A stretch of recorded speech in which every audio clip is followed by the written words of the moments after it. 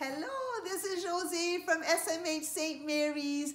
I want to say hello to all our friends. So I'm going to read you a story. Today I'm a ladybug. I dress in ladybug from head to toe because I wanted you to see me even though I don't get to see you.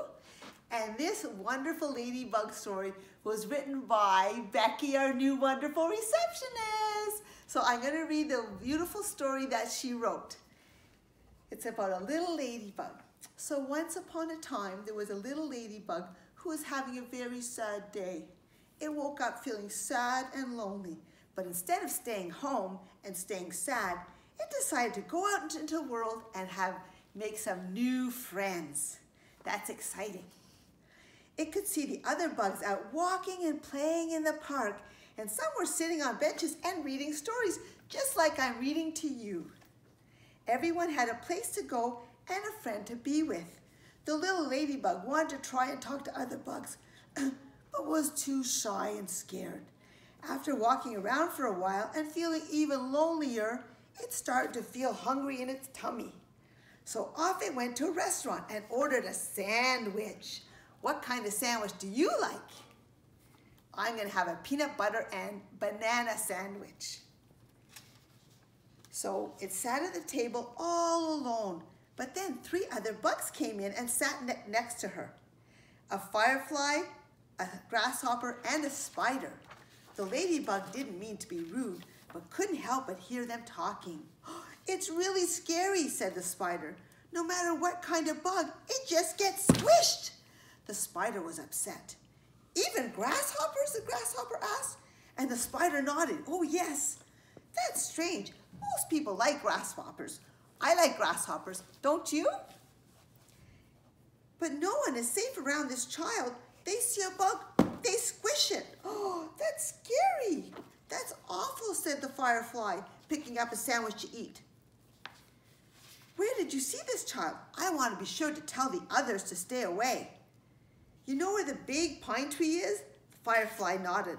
The child lives right next, next door in the little yellow house with the blue door.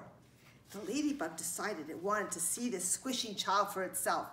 So quickly finished its sandwich, num num num num num, and left to find the little yellow house with the blue door. Once outside, the ladybug spread its wings and took off. After a short while, it could see the house, and what luck! There was a child sitting outside on the porch, all alone. Even though the ladybug was scared, the ladybug flew in, landed on a bench close by. It crept quietly closer to the child, wanting to see it up close. The child was poking in the ground with a stick. It looked bored. The ladybug felt sorry for the child. What if they were just lonely, just like me? What if all they needed was a friend, like I need a friend? It was strange to think that a ladybug could have something in common with a child, but it was possible. With all the courage it had, the ladybug flew in closer, landing on the step just a few feet away. Hey, it yelled at the top of its lungs, but the child didn't move. It seemed to be concentrating really hard on something. The ladybug wanted to move closer, but decided to see what the child was doing with the stick. When the ladybug saw, it was shocked. The child was poking a spider, and the spider was trapped. Oh no, help me! What are you doing? The ladybug yelled, and without thinking, flew down to the spider. The poor spider had a broken leg and was scared. The ladybug recognized the spider and felt bad that it was hurt. The ladybug looked up at the child who had not noticed them yet. Are you okay? The ladybug asked the spider. The spider slowly nodded his head. Yes, I think so. But it won't be long before the child finally squishes me. You better go. Save yourself. No, the ladybug yelled, and again, without thinking, flew closer to the child and landed on its shoulder. What do you think you're doing? It yelled into its ear. There's a ladybug on my shoulder. What? Who said that? The child looked around. I did, said the brave little ladybug.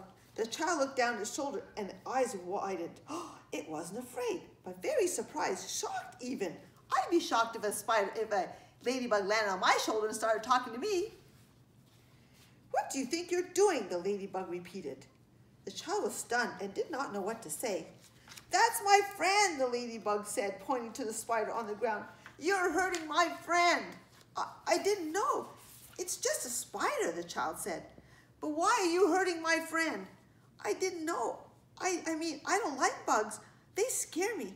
The ladybug says, it's okay to be scared. It was true. It was scary talking to the child, but it needed to be done.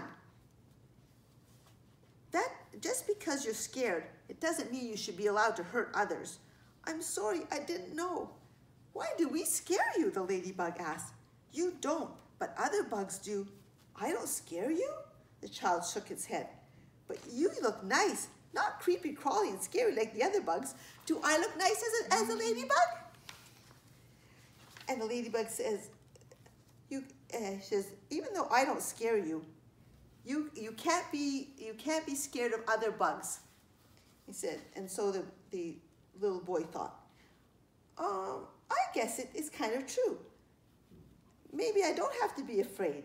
And the ladybug says, because I'm a bug too, and even though there are lots of different kinds of bugs who look different, they're really all the same. Just because we look different doesn't mean that you should be mean to some of us, though that scare you. And the little uh, child said, I'm sorry, I didn't know. The ladybug flew down to the spider, and the spider smiled a really big smile. Thank you, the, the spider cried. It's okay. Can you get home? The spider tried to stand, oh, but quickly fell back and started crying. I don't think so. My leg hurts. What are we going to do? And the child said, hold on, and ran quickly inside the house. And the spider said, thank you so much for helping me. And, and he said to Ladybug, you were very brave to do that and stand up for me.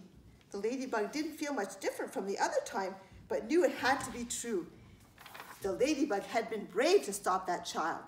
I can be brave. Can you be brave too? It was the right thing to do. The little ladybug smiled at the spider. I could not let you get squished. Well, thank you. You're my new best friend. The ladybug smiled the best, biggest, and greatest smile, just like this. Can you give me a great big smile? Just like that. Good job. Climbing, the child came out carrying a little box. It knelt down on the ground, laying the box next to them. I'll take care of you, the child said. Here, climb into the box, and I promise I will never hurt you. I'll make sure you're safe until you get better, and then you can go home. The spider looked scared and didn't move, but the ladybug smiled. That's very nice of you. As your new friend, she said to the child, I'm going to trust you to take very good care of my best friend. The child crossed his heart. I promise. The ladybug helped the spider into the box and the child put grass in it to make it more comfortable. The spider smiled at the ladybug once inside. Thank you, it said again. You are very welcome. The child brought the box inside and for the next three days, the lady and the, ladybug and the spider stayed on that box and they were well taken care of. Then when it was time to go home, they didn't want to go. All three of them were now very best friends and the child never squished another bug in its life ever again. Isn't that a happy story? So now they have three best friends when they were scared of each other before, so you can be brave too. So I want to say goodbye from St. Mary's Home, and we can't wait to see you again, and have a great day. Bye-bye.